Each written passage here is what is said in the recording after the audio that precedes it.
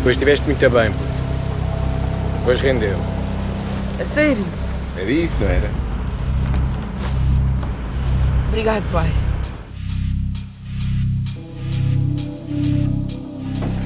Pai?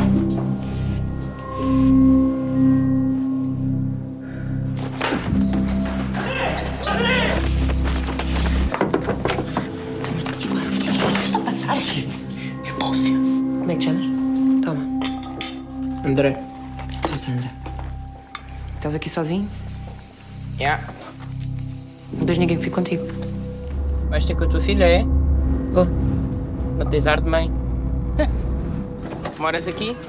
Estavas à espera do quê? Uma vivenda à beira-mar? Não sei como é que te dizer isto. A maioria não está confortável com a ideia de tu continuares a ser professora dos filhos. Quê? Isto é um lugar pequeno. As pessoas. As pessoas é que sabem se eu sou boa professora ou não. Eu não consigo, eu não consigo andar contigo às costas. Tu tens de ter alguém que fique contigo, alguém da tua família. Não tenho. Eu não estou a acreditar nisto. Como é que está a tua filha? Agora preocupas-te. Olha lá, porque é que achas que o teu pai não me disse nada? Ele vai ligar.